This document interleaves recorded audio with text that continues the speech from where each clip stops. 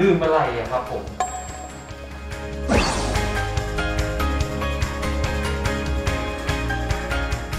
ผมกลัวเหมือนกันนะบางทีผมลืมแบบ ลืมโทรศัพท์ไว้ไหนก็ไม่รู้ลืมกุญแจบ้านตกหายที่ไหนก็ไม่รู้อะไรเงี้ย ผมจะเป็นโรคสมองเสื่อมครับเนี่ย ค่ะ ดูแล้วเนี่ยลืมเรื่องที่มันเกิดขึ้นณปัจจุบันทั้งนั้นเลยนะคะ ใช่ครับ อาการแบบนี้นะคะมันอาจจะเป็นโรคสมองเสื่อมได้ค่ะ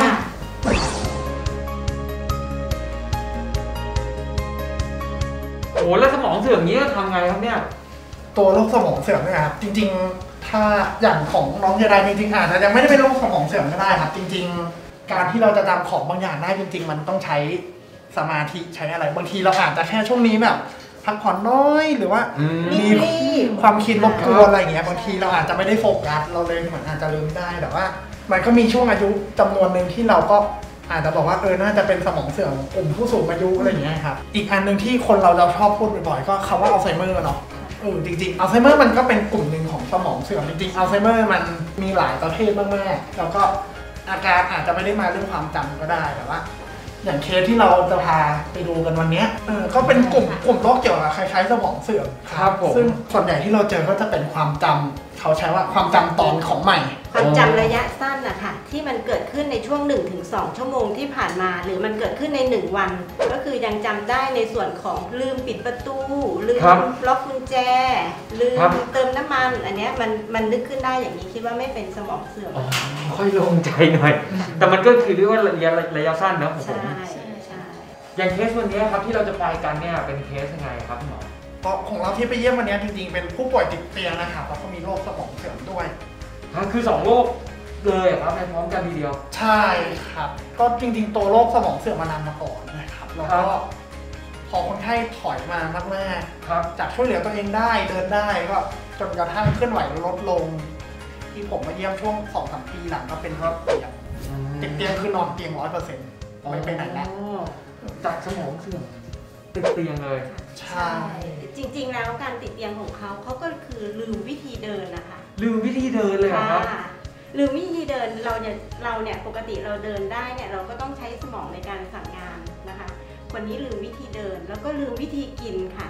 อะกินก็กินเองไม่ได้แล้วคืนอาหารไม่เป็นการติดเตียงครับของผู้ป่วยคนนี้อะค่ะก็เลยต้องเออทางทีมเยี่ยมบ้านเนาะก็วางแผนแล้วก็พูดคุยกับสมาชิกในครอบครัว ผู้ป่วยมีปัญหาในเรื่องของการกลืนอาหารทางปากเองไม่ได้ เพราะว่าญาติป้อนให้ก็อมไว้อยู่ในปากแล้วก็สำลักอาหารค่ะอ๋อ เรื่องสำลักอาหารนี่คือเรื่องใหญ่มากเลยนะคะสำหรับผู้สูงอายุเพราะจะทำให้ปอดติดเชื้อได้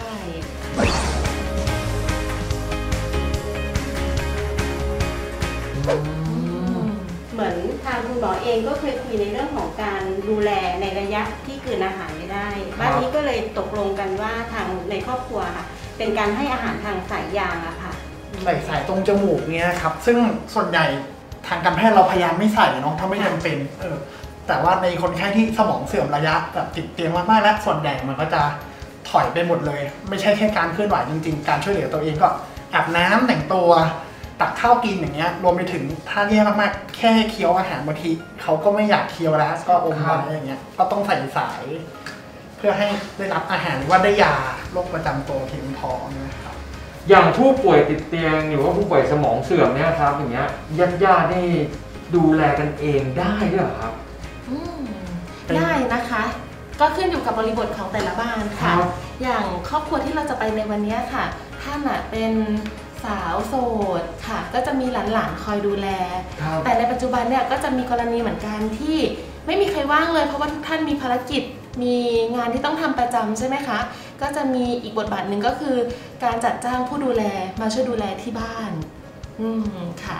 ครับผมแล้วอย่างนี้เราต้องดูแลยังไงเป็นพิเศษไหมครับ คือเราไปให้คำแนะนำ กับญาติญาติๆยังไงเป็นพิเศษไหมครับ ค่ะ ก็จะเป็นการดูแลแบบขั้นพื้นฐานค่ะ ก็การอาบน้ำแต่งตัวช่วยป้อนข้าวค่ะ และที่สำคัญเลยก็คือ การดูแลเรื่องไม่ให้เกิดแผลกดทับอ๋อต้องคอยพลิกตัวให้ใช่ตลอดเวลาใช่ค่ะชวนคุยเพิ่มนะครับก็จะมีคำเรียกว่าภาวะติดเตียงนะครับครับผม เพราะว่ากลไกธรรมชาติเราเราต้องนอนหรือนั่ง ยืนขึ้นอย่างนี้ถูกไหมครับซึ่งจริง ๆ แล้ว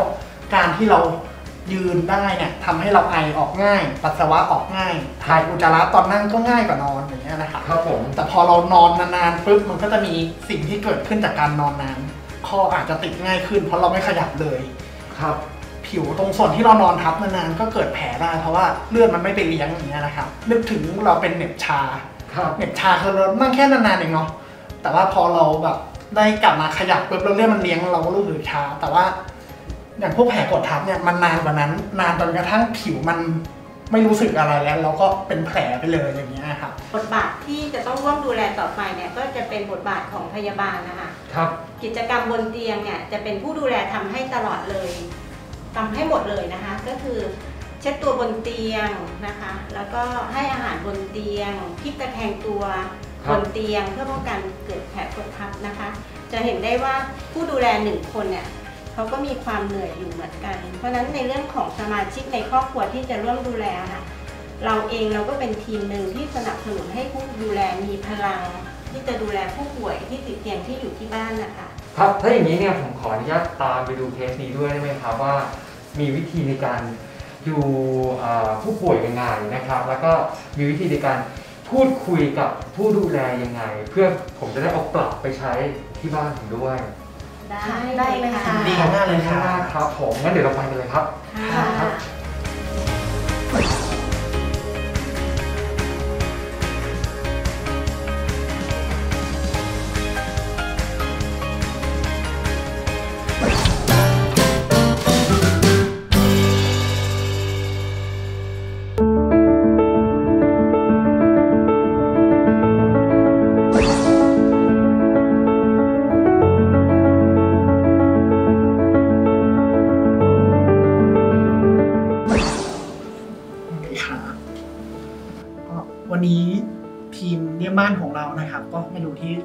คนไข้แล้วนะครับแล้วก็อันนี้อยู่กับพี่แหม่มแล้วก็อยู่กับอ่าผู้ดูแลนะครับก็วันนี้ของเรามาดูเคสผู้ป่วยที่เป็นอ่าผู้ป่วยโรคสมองเสื่อมนะครับแล้วก็มีเรื่องปัญหาภาวะติดเตียงนะครับ อาจจะเกริ่นเรื่องคนไข้ก่อนนิดนึงนะครับ จะบอกว่าคนไข้คนไข้ติดเตียงตั้งแต่เมื่อไหร่นะคะ ประมาณปี 62 ค่ะค่ะ ตั้งแต่คนไข้ติดเตียงนี้ก็คือ คุณนันเป็นคนดูแลตลใช่อดเลยใช่ค่ะจ้เป็นคนดูแลมันตลอด ในช่วงของการดูแลเนะคะเอ่อต้องดูแลอะไรเกี่ยวกับท่านบ้างอืมช่วงแรกเลยก็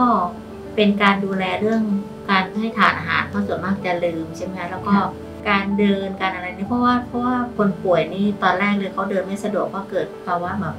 กระดูกหลังเสื่อมเนี่ยค่ะเขาก็ไม่ค่อยเดิน พอไม่ค่อยเดินมันก็จะมีอาการของการนอนมากขึ้นค่ะ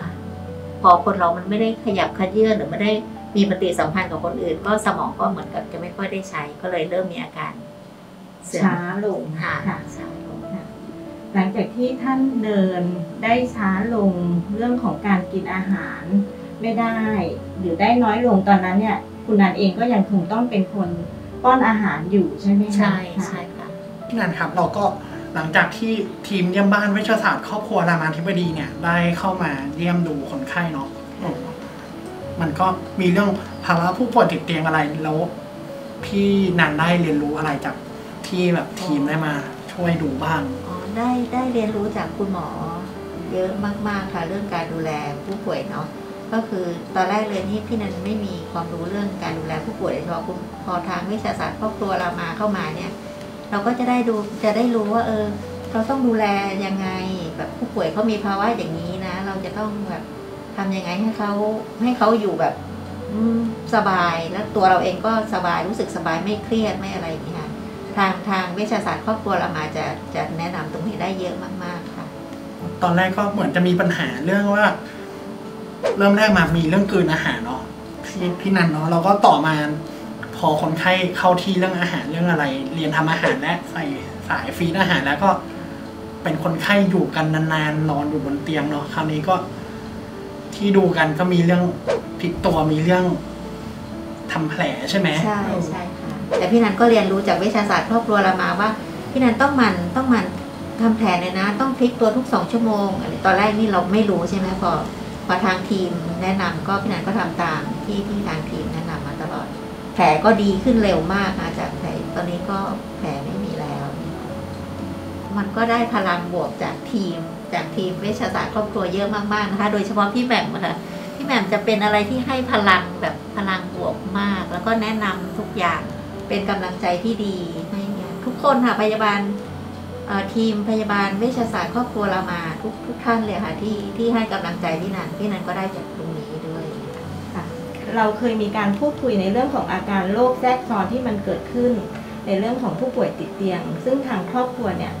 ก็รับทราบข้อมูล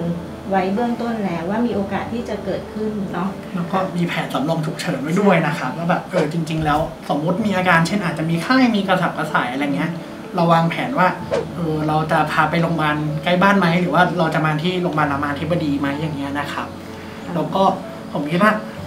เคสเคสของพี่นันก็เป็นตัวอย่างที่ดีมากๆเลย เพราะผมคิดว่าผู้ป่วยโรคสมองเสื่อมเนี่ยจริง ๆ ก็มีอีกจำนวนมากอยู่ในประเทศเราเนาะแล้วก็หลายคนหลายครอบครัวก็รู้สึกว่ามันเป็น challenge นะเนาะว่าเราจะต้องอยู่กับคนไข้เพียงนั้น แล้วก็เคสของพี่นันเป็นตัวอย่างที่ดีมากๆเลยที่จะได้โชว์ว่าเออจริง ๆ แล้ว ถ้า ทีมสุขภาพ ทีมโรงพยาบาล แล้วก็คนที่บ้านครอบครัวช่วยกันเนี่ย จริง ๆ เราสามารถดูแลผู้ป่วยอยู่ที่บ้านได้โดยที่ไม่ต้องทำให้ลำบากย้ายไปย้ายมาเนาะอืมในส่วนของการดูแลค่ะผู้ดูแลเองก็คืออยู่กับผู้ป่วยตลอดเวลาเลยค่ะ ก็จะมีบางครั้งบางวันที่จะต้องออกไปนอกบ้านบ้างค่ะ อยากจะให้คุณนันเล่าถึงว่า การดูแลแบบเนี้ย ได้กำลังใจมาจากไหนค่ะจะส่งกำลังใจให้กับผู้ดูแลหลาย ๆ คนที่อยู่ที่บ้าน ที่เขามองว่าการดูแลผู้ป่วยน่ะ โอ้ไม่ได้ไปไหนเลยเอออยู่ที่บ้านอย่างเดียว ให้เขามีกำลังใจในเรื่องของการดูแลค่ะก็การดูแลผู้ป่วยติดเตียงคือเราเราเราก็ต้องเข้าใจก่อนนะคะ ว่าในเมื่อเรา มีหน้าที่ตรงนี้แล้วเรามีผู้ป่วยที่เราต้องดูแล เราก็จริง ๆ ตัวเราเองก็ต้องมีกำลังใจก่อน ก็ต้องให้กำลังใจตัวเองนี่แหละค่ะดีที่สุดสำคัญที่สุด ทีนี้สำหรับคนที่ดูแลผู้ป่วยอยู่นะคะ ก็อยากจะให้กำลังใจว่าเราเราเราคิดนะคะว่าเราการดูแลผู้ป่วยที่เขาช่วยเหลือตัวเองไม่ได้นี่ อย่างน้อยข้อหนึ่งก็คือเราได้บุญแน่ๆค่ะ บุญก็คือความสุขใช่ไหมคะทีนี้ถ้าสมมติว่าอยากอยากให้คิดว่า คนป่วยค่ะเขาไม่ได้อยากจะป่วยเขาไม่ได้อยากจะติดเตียงเขาก็อยากหายอย่างเงี้ยค่ะเพราะฉะนั้นก็อยากอยากเป็นกำลังใจให้ผู้ผู้ที่ดูแลผู้ป่วยติดเตียงทุกท่านนะคะ อย่าได้อย่าท้อนะคะ อย่างน้อยเราก็ถือว่าเราได้บุญที่ได้ช่วยคนอื่นเนี้ยค่ะ ดีมากเลยครับ ชอบที่พี่นันบอกว่า เออเหมือนจริง ๆ คนป่วยไม่ได้ตั้งใจจะป่วยเนาะแล้วก็ทำแล้วก็ได้ความสุขเนาะแล้วก็วันนี้อาจจะ ขอบคุณพี่นันตรงช่วงตรงนี้เดี๋ยวลำดับถัดไปเดี๋ยว เราอาจจะขอเขาไปตรวจร่างกายคนไข้ตรวจร่างกายคุณย่าหน่อยนะครับ ค่ะเชิญค่ะ